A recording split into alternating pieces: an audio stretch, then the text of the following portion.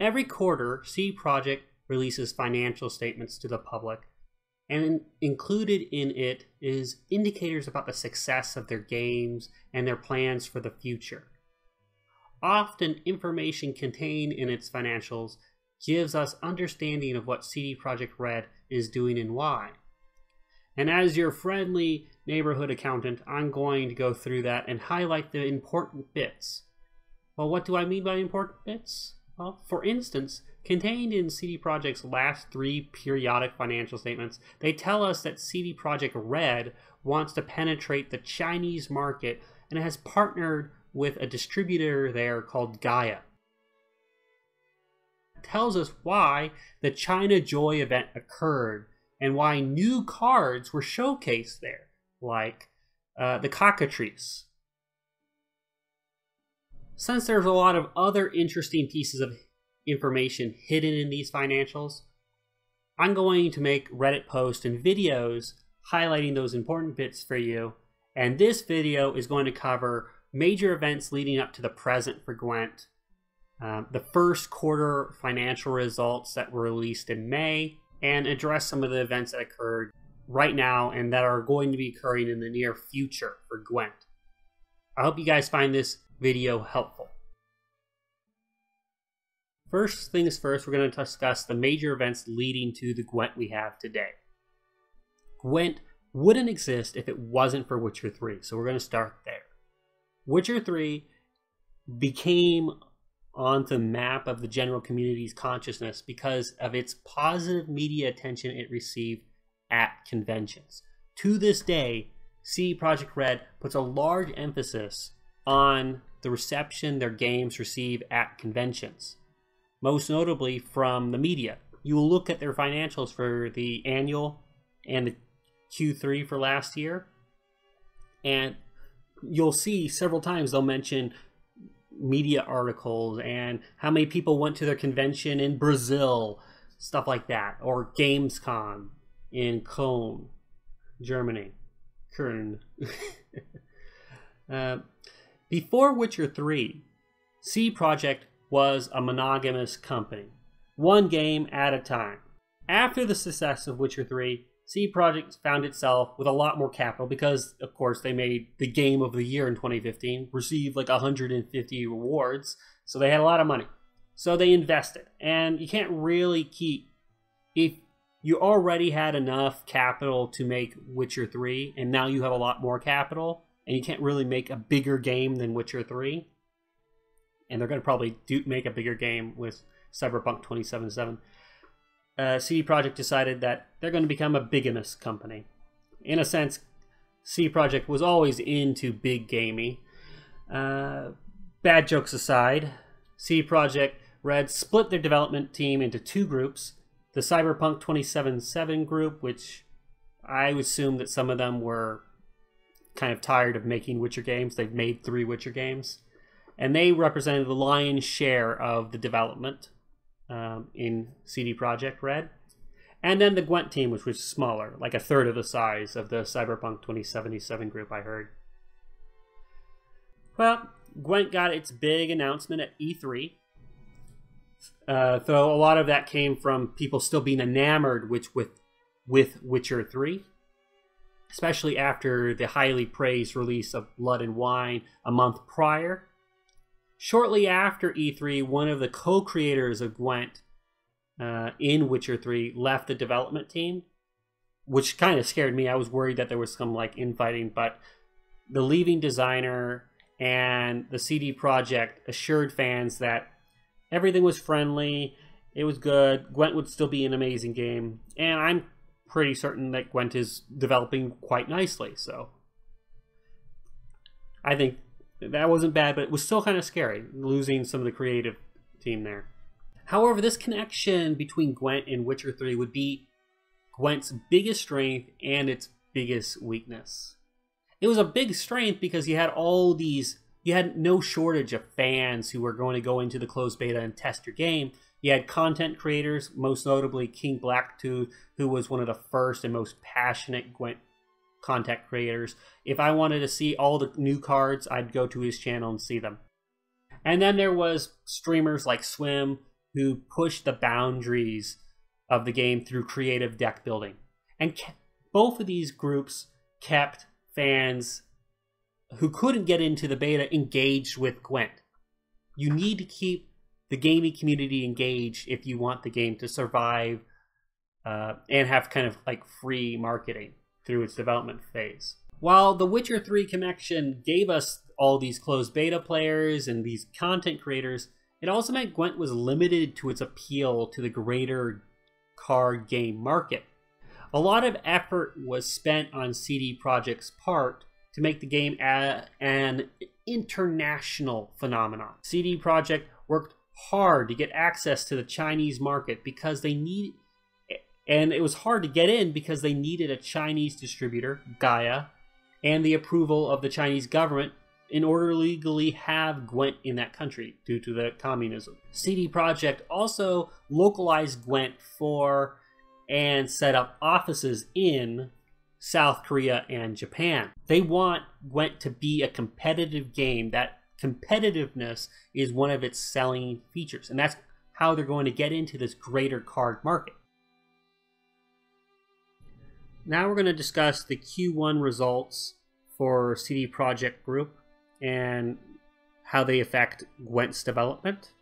Probably the most important event that isn't in these results but should be discussed is Lifecoach defecting from Hearthstone and becoming a Gwent player. It's easy to underestimate how monumental Lifecoach becoming a Gwent player is. When it happened, there were not enough beta keys available for all these players that wanted to play. And Gwent was struggling to get into the general card market as an alternative to games like Hearthstone. Yes, there were a few people here and there, but Lifecoach's defecting was so was like at the perfect time in the Hearthstone community. People were really angry at Hearthstone, and it was highly publicized. Life Coach got interviewed a dozen times about becoming a Gwent player. There were several threads on the Hearthstone Reddit about this. And due to that, a lot of players wanted to get into the beta. CD Projekt Red, being wise and capitalizing on this situation, gave Gwent database thousands upon thousands of keys just so that they could keep up with the new inflow of people who wanted to play the game. They they didn't want these players to forget about Gwent because they couldn't get in. They needed them then and there. And that's really important, not only because it meant they were going to get a lot of money through the players who were going to willing to spend money on kegs in the closed beta, but it was also going to grow their community and create a lot more content creators and streamers for the game. With that discussed, we can now move on to the quarter the actual data. The first summary we're going to look at is for the entire corporation CD Projekt. That includes GOG, which they own, and CD Projekt Red, and a few other subsidiaries that are just kind of local. I also want you to ignore the fact that misspelled expenses here. They called expanses is not a spelling error that word would catch since it's still technically a word. CD Projekt is a small indie company. They're going to make mistakes. Now let's be serious. The big thing to take away from here is revenue's up, Expenses are down. Why are expenses down? Because they have fully realized the expenses related to Witcher 3 by the 2017. It's not because they fired a bunch of people. Normally, when we look at things and we say, oh, their operational expenses are down, it's because they shrunk the company. No, CD Projekt is growing. And because they're a European company, they defer expenses related to developing games until after the game is released. So Witcher 3 was fully realized by 2017, so they don't have any expenses related to what they spent on Witcher 3 years ago. And Cyberpunk 2077 is being deferred. So we're not seeing that on their income statement.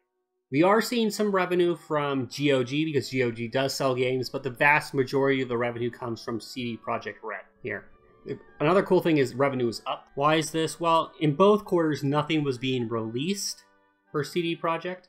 They weren't. Uh, Blood and Wine came out in quarter two, and Gwent didn't reach public beta until quarter two. So you could probably attribute it to the ongoing sales of Witcher 3. One of the nice things about the Witcher franchise is that it continues to sell year after year after year after year. The other thing is Gwent's giving us money. So Q, uh, there was a lot of, you know, there were keg sales in quarter one that can contribute to the increase in revenue generation. Moving on, we're going to look at CD Projekt Red's financial data specifically. So not the whole corporation, just CD Projekt Red.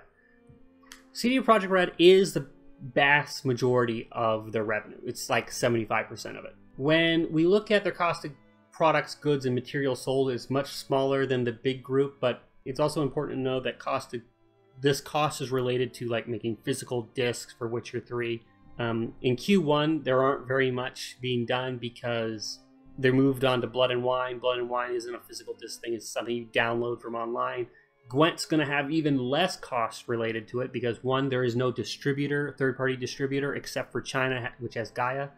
You know, there's no Steam, there's no GameStop. You just go to GOG, and CD Projekt Red owns GOG. And whenever GOG takes credit for some of the revenue, um, that gets all mashed out in their financial statements, where it says the portion related to GOG or anything sold in Gwent the other materials is like there is no physical disc for Gwent, so they're not there's no cost of materials related except for t-shirts. If we go to operating expenses, you can see that Gwent is the vast majority of their promotion stuff. So you can think of Burza and all the marketing they're doing, all the streaming they're doing, all the conventions they're going to. Remember, conventions are very important to CD Projekt Red. Um, ignore the fact that it still says expanses the important thing here is that their operating expenses related to Gwent are less than they were for Witcher 3. Now we're going to look at the simplified balance sheet for CD Projekt. The important line I really want you guys to look at most is their expenditures on development projects. Yes, the total assets are increasing. There are total liabilities and equity is increasing, both of which mean that the company is growing as a whole. The expenditures, though, is telling us, the players, that they're building games. If that number goes up, there is more game in the future for us to see.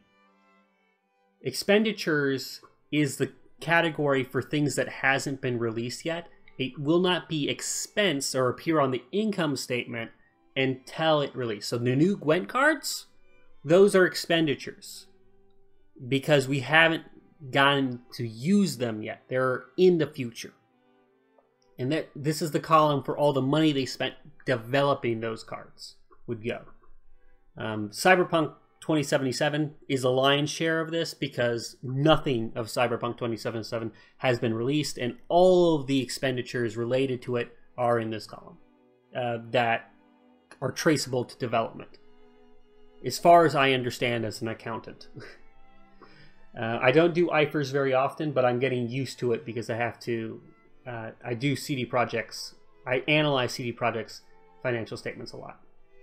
The fact that it's increasing means that they're, again, they're a growing company, but they're spending more on developing games. You want CD Projekt to be spending more money on games because that means our us players are going to get more. Okay, that's the big takeaway here. With that, I think we're done looking at the financials for Q1.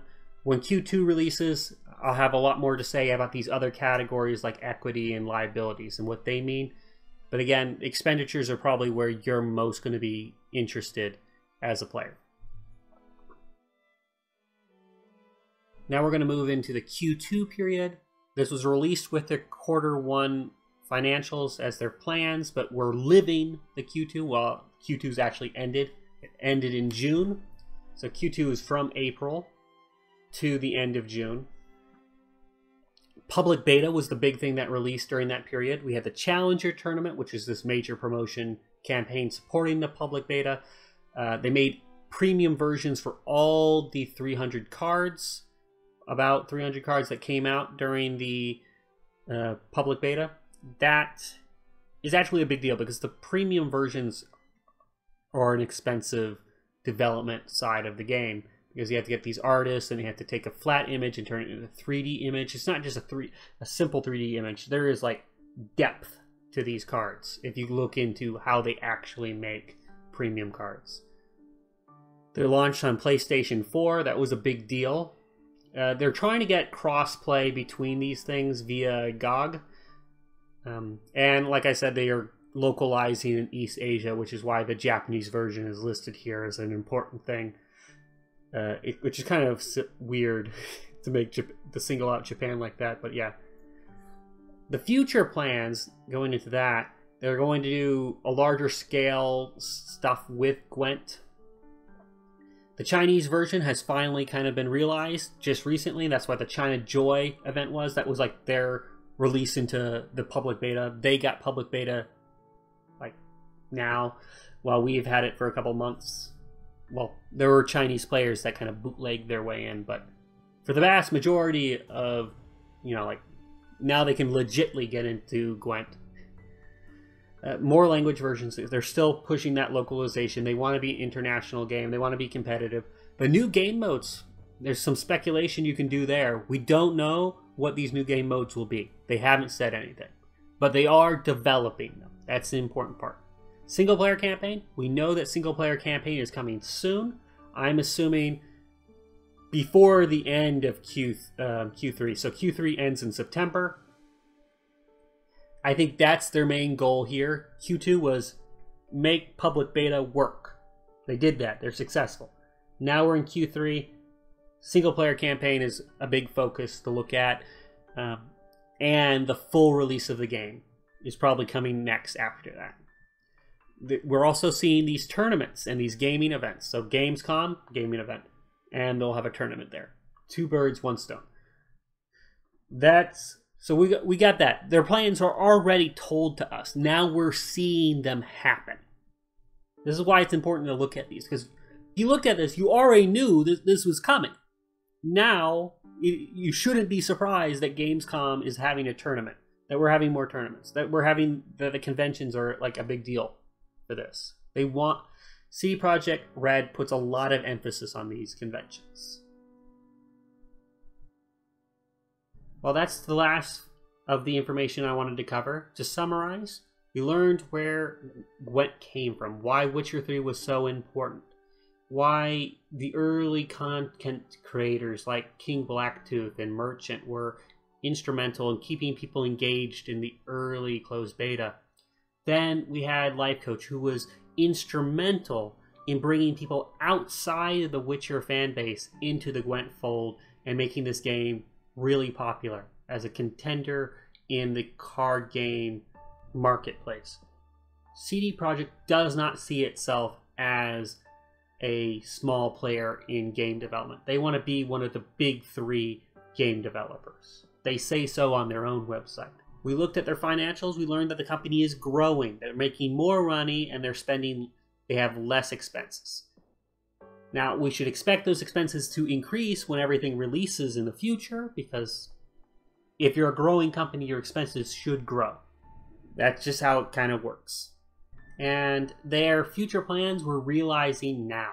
Now, the other future plans we haven't covered, like their mobile game, we'll get to that in the next quarterly. Now, don't be too excited about uh, a mobile version if you like playing on the PC or the Xbox because if a mobile version comes with slower updates generally speaking because it's hard to update all those mobile devices and go through the iStore. They also CD Projekt doesn't own the iStore. They own GOG so they can distribute through that much easier. So that's something to be considered. I hope you guys enjoy this. I'm Eric Stockhausen and this was my video.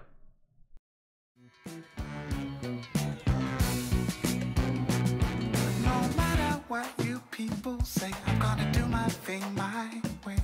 No matter what you people do, I'm gonna do my thing much better than you. No matter what you say or do, oh boy, you're out of luck. It's gonna roll right off of me like water off the back of a duck.